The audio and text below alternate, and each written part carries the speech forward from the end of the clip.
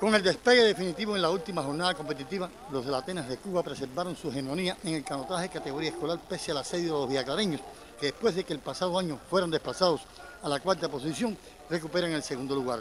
Por su parte, los piragüistas de la capital del país, luego de casi un lustro, alejados de puestos cimeros, se posicionan en 2023 en el tercer lugar de los Juegos Escolares, desplazando a los infogueros al cuarto puesto.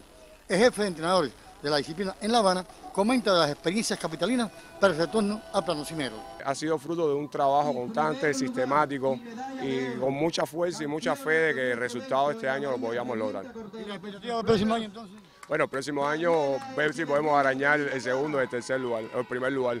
Ver si podemos destronar a las provincias que son eh, las canteras principales de las selecciones nacionales, que es Matanza, Villa y Cienfuegos. También para bien del canotaje, los representantes de la isla de la juventud experimentaron una mejoría, lo cual corrobora que los territorios con tradición y arraigo en la práctica del deporte, salvo algunos casos aislados, fueron superiores a versiones precedentes.